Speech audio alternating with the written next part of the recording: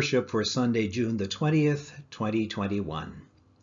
Now is the acceptable time. Now is the day of salvation. Now we are in the storm, the boat almost swamped. But Jesus is here now, and he will calm the storm. Even the wind and the waves listen to him as they would do their Creator. We also listen to him and are called to believe in the power of God's word in him, a power greater than all that we fear. The Lord be with you. As we gather to worship in various places, may we be blessed by God who forms us in word, sacrament, and community. We acknowledge with gratitude and respect that we are on the traditional land of the neutral Anishinaabe and Haudenosaunee peoples who've cared for it for thousands of years. More recently, the Haldimand Proclamation of 1784 granted a tract six miles on either side of the Grand River from its source to Lake Erie to the Six Nations Haudenosaunee of the Grand River.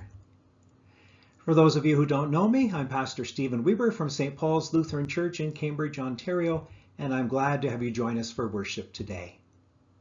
A special welcome again this day to the people of St. Matthew's Lutheran Church in Conestogo, just outside of Waterloo. They will be worshiping with us virtually while their pastor, Joanna, is on leave. Thank you to our Minister of Music, Katrina Lowe, and her mother, Karen Peters, for playing and, and recording a prelude and postlude for us today. Thank you also to our reader for this day, Josh Hyde. In these challenging and unforeseeable times, if you find that you need someone to talk to, or if you need any assistance, please email me or phone me at the church office and I will help you. At whatever time and location you are accessing this, thank you for doing so. It is good to be together in whatever way possible in this time of physical distancing. We continue now with a word from our Eastern Synod Bishop, Michael Pryse.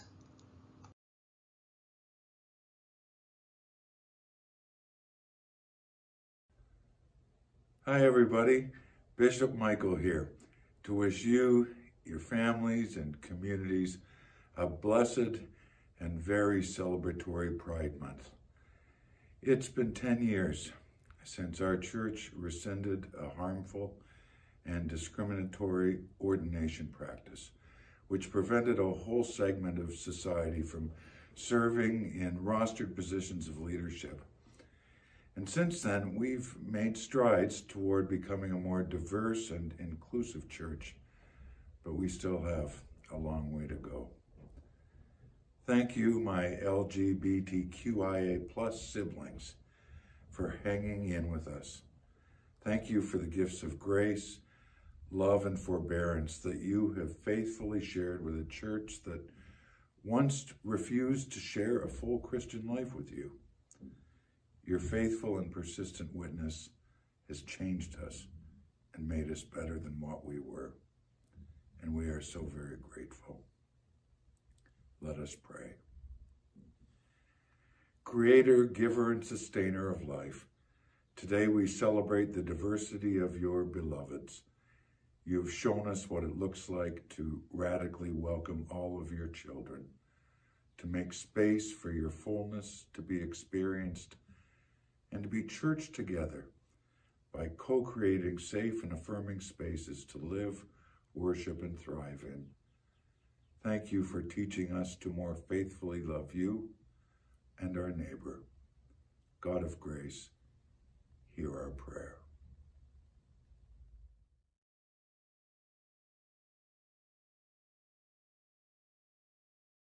The grace of our Lord Jesus Christ, the love of God, and the communion of the Holy Spirit be with you all. Let us pray. O God of creation, eternal majesty, you preside over land and sea, sunshine and storm. By your strength, pilot us. By your power, preserve us. By your wisdom, instruct us. And by your hand, protect us. Through Jesus Christ, our Savior and Lord. Amen. And the prayer of the day for World Refugee Day from Canadian Lutheran World Relief. Let us pray. God, our Creator, you call your people to love you as you love without partiality, showing hospitality to the stranger, doing justice, speaking for those whose voices are not heard, and defending the rights of the marginalized. We give thanks for the work of Canadian Lutheran World Relief on our behalf. Help us to show your love in all that we do and say. May we see the face of your Son in the faces of all whom we are called to serve and love. Through whom we pray, Jesus Christ, our Savior and Lord. Amen.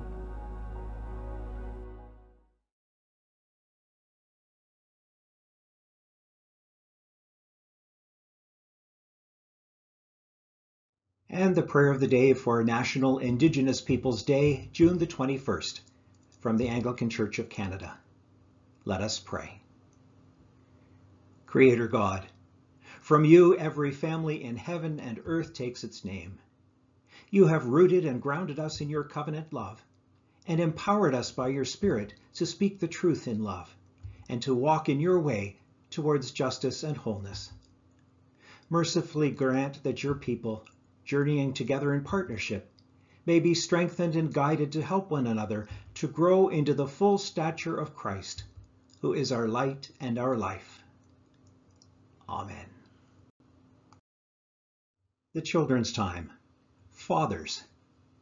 I am so very glad that you're here today, and I know that you're bringing sunshine and joy wherever you are. Well, as you likely know, today is Father's Day, and so I have a story for you. A loving father used to sing his little children to sleep. He even learned a few lullabies to lend some variety to the task and he kept up this task until one night he overheard his four-year-old give her younger sibling this advice. If you pretend you're asleep, she said, he stops singing. That was the end of the lullabies. I guess that father wasn't a very good singer if his children wanted him to stop, stop singing. We love our fathers even though they're not perfect, right? And our fathers love us even though we're not perfect. God is called our Father in heaven. And so we know that God loves us even when we're not perfect. So today we are thankful for our earthly fathers and for God, our heavenly Father. Now I invite, I invite you to move into your favorite prayer posture. It may be hands open facing up to receive the gift of God's presence in prayer. It may be hands folded and eyes closed to help you concentrate or it may be crossing your arms across your chest to form an X, the first letter of Christ in Greek, and it feels like a hug from God.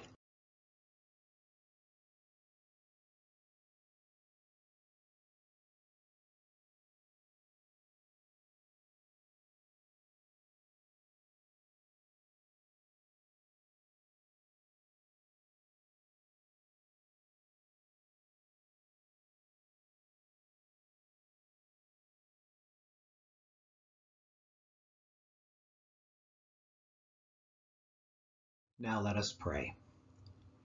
God, we thank you for the gift of our fathers, and we thank you for being our Father in heaven. Help us to feel your fatherly love for us, and help us to share that love in return. We ask this in Jesus' name. Amen. Your parents have children's bulletins for you that you're welcome to work on at any time, even while you're listening to the sermon. Christ calming the sea. Jesus' calming of the storm on the sea reveals his power over evil, since the sea represents evil and chaos. The boat on the sea is a symbol of the church and invites us to trust God amid life's turbulence. The Holy Gospel according to Mark. When evening had come, Jesus said to the disciples, Let us go across to the other side and leaving the crowd behind, they took him with them in the boat, just as he was. Other boats were with him. A great windstorm arose, and the waves beat into the boat, so that the boat was already being swamped. But he was in the stern, asleep on the cushion. And they woke him up and said to him, Teacher, do you not care that we are perishing? He woke up and rebuked the wind, and said to the sea, Peace, be still. Then the wind ceased, and there was a dead calm. And he said to them, Why are you afraid? Have you still no faith?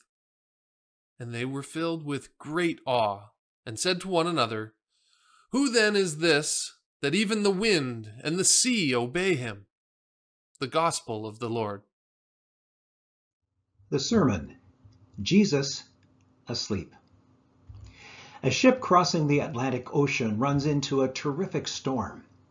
Concerned, one of the passengers asks the captain, Are we in danger?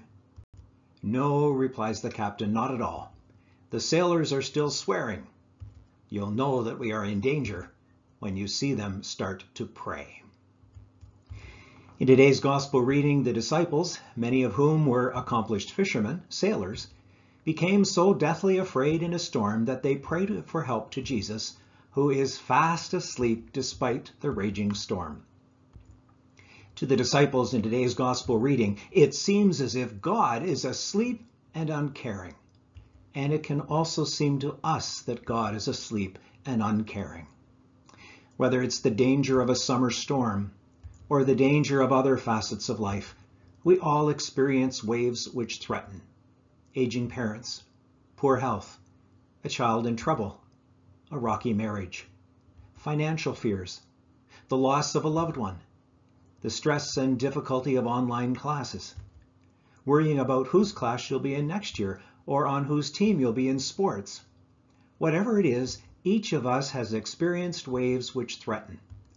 And, and after a year of COVID restrictions, we too cry out to God as the disciples did, Do you not care that we are being swamped? Yet inherent in that very cry is faith and trust. You don't cry out to someone you don't believe in, and you don't cry out to someone whom you think cannot help. The disciples believed that Jesus did care and that he could do something about their situation. And so even their anguished cry is a sign of faith, however insecure and hesitant. It is difficult at times to trust God, especially in times of crisis and danger. Yet there are things we can do to weather the stormy times of life so that such times don't destroy our faith and cause us to doubt God's love and care. We can foster a good relationship with God when times aren't stormy. And our relationship with God is fostered as any relationship is, with communication and time, spending time with God in daily prayer and in weekly worship. Because the disciples' relationship with Jesus had been fostered before the storm started, because they had experienced that Jesus cared, they know they can turn to him for help when the storm tosses their boat. Having a solid relationship with God when times are good and life is calm helps us turn to God for help when times are bad. Learning to trust God in the little things makes it a whole lot easier to trust God in the big things. We often do that when we go to see the doctor. When you go to your doctor, have you noticed that in, at the end of the appointment, he or she tends to ask, Is there anything else I can do for you? Doctors are trained to do that because they know that we often don't come right out with what is bothering us. Rather, we make an excuse and come up with smaller, less upsetting problems. It's as if we know that something is serious enough for us to see the doctor, but we can't quite risk saying what's really wrong. Or we may go to a doctor with several, uh, several times with little problems before we'll share what's really bothering us. That's true of our relationships with our doctors, and it's also true of our relationship with the great physician. Learning to trust in the little things makes it a whole lot easier to trust in the big things.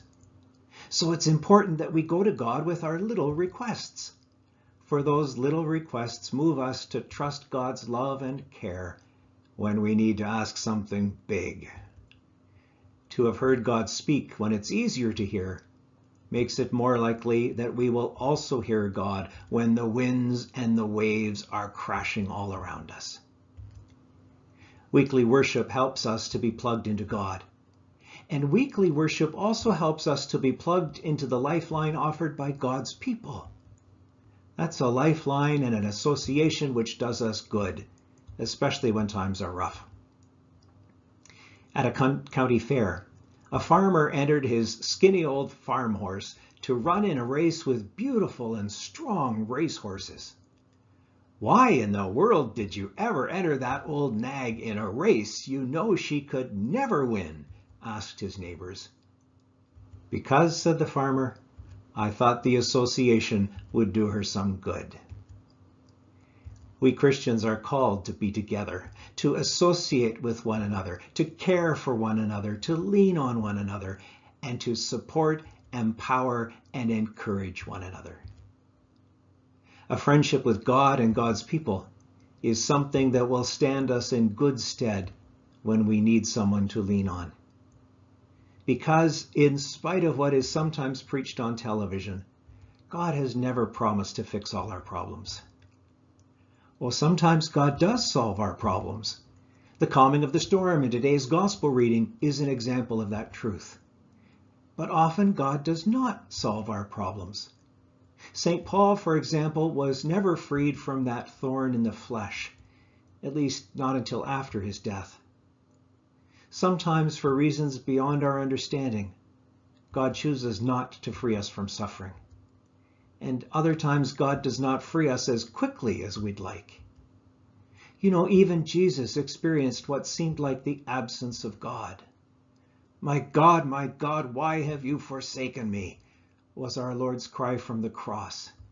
And at crucifying times, it might be our cry too. But we know that God did care for Jesus, that God was not asleep while Jesus was being crucified, and that God did not forsake Jesus. We know that resurrection followed the crucifixion.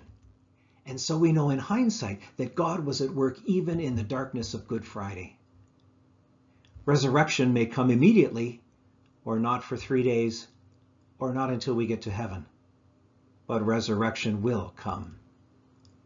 To know that can make it easier for us when waves threaten to capsize our boat, when we are so desperately longing for deliverance.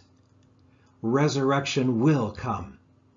So we need not feel abandoned when our problems are not fixed, or when God chooses to do things differently than you or I would hope resurrection will come. May the Holy Spirit help us to call on God in time of need and doubt, even when we believe God to be asleep and uncaring. And may the Holy Spirit strengthen our relationship with God in the calm times, so that we may know God's refuge in the stormy times. And the people said, Amen.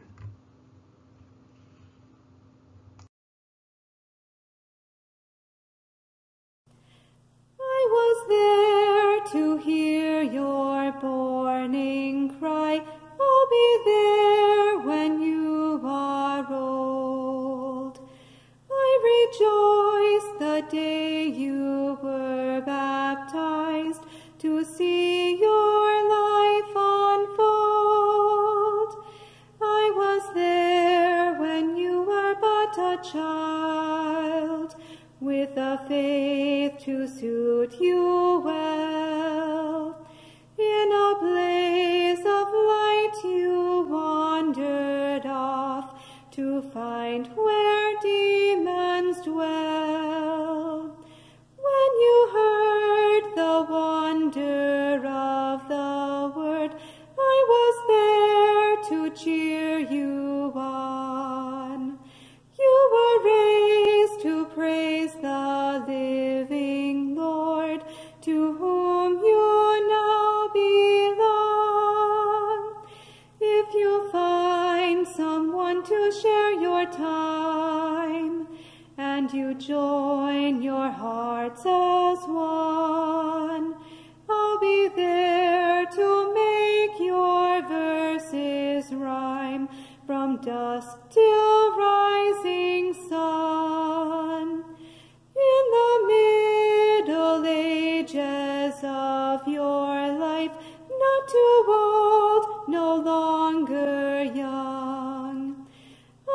there to guide you through the night, complete what I've begun. When the evening gently closes in, and you shut your weary eyes, I'll be there as I have always been, with just one more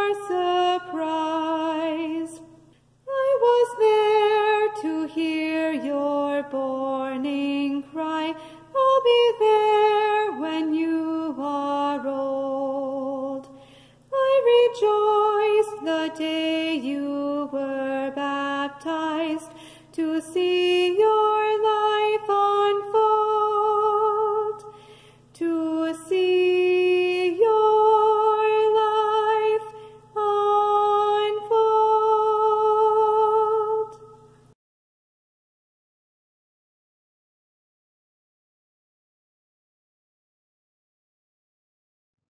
We come before the triune God in prayer, saying, Lord, in your love, and responding, hear our prayer. Holy God, you gather your people from east and west, north and south. We pray for the mission of the church throughout the world, that your steadfast love may be made known to all peoples.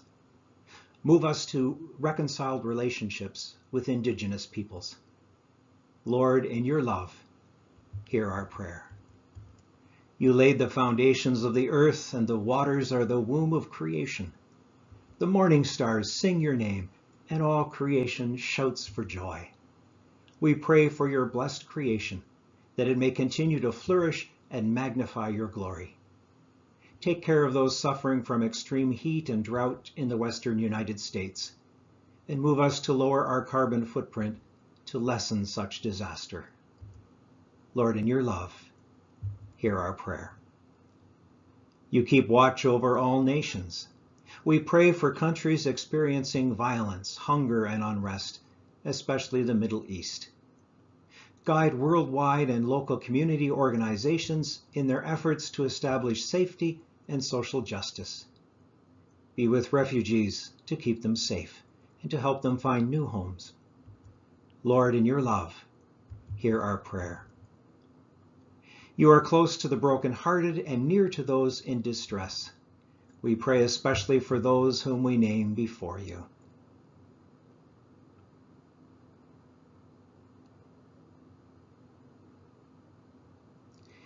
Liberate us from the systems and chains that bind us. Remove the barriers that separate us from one another. Bring healing and help. Lord, in your love, hear our prayer. You dwell with us in this faith community.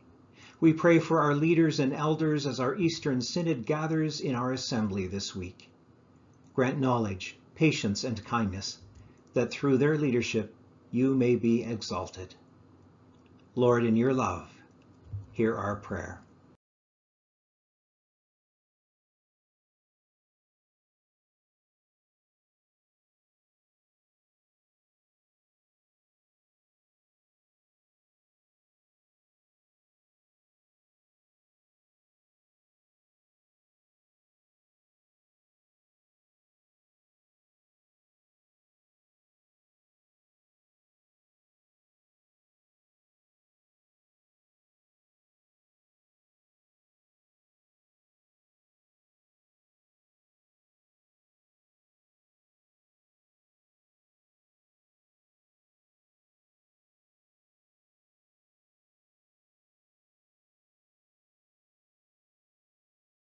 You call us to care for all people.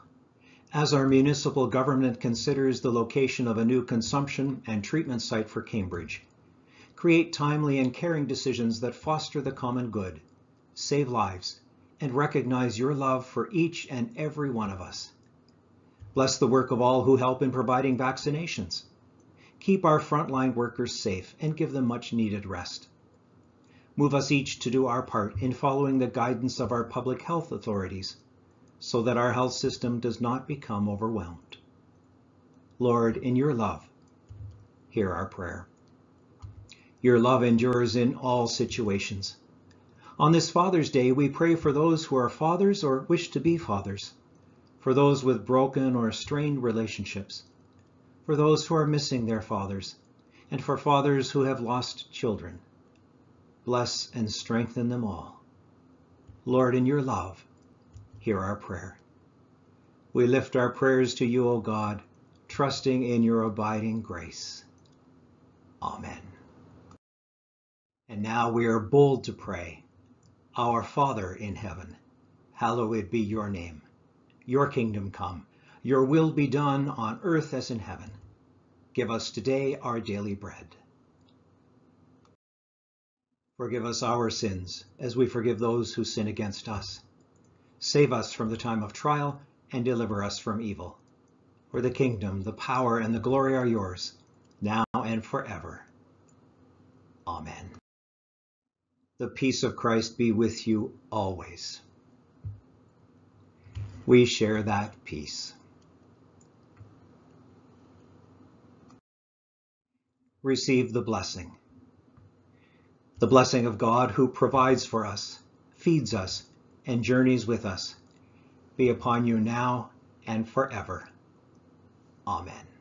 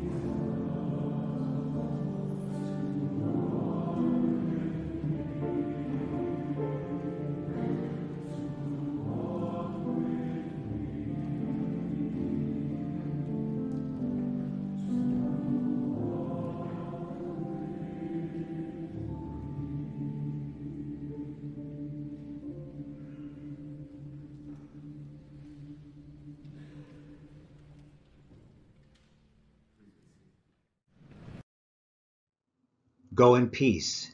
You are the body of Christ. Thanks be to God.